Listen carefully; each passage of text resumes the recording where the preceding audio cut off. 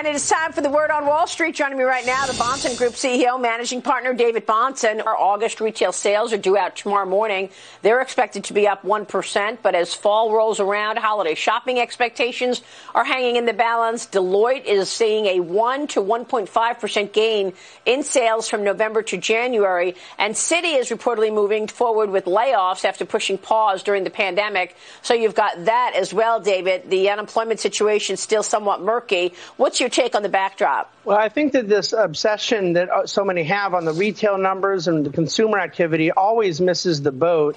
Of course, I'm a little biased as a diehard supply sider, but we need the production side of the economy uh, to be moving.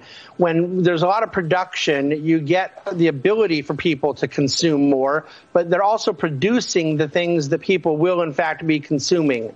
So I think that the retail number is backward looking, productivity is forward looking. We've frankly seen a lot more small business optimism, manufacturing pickup than I would have expected by now. What we need to see this economic recovery get more legs is for companies to reopen for business. Whether it's here in New York City, Maria, or elsewhere around the country, it is time for companies to be bringing their employees back to the office and allowing for all of the sort of trickle down effect from that to take place.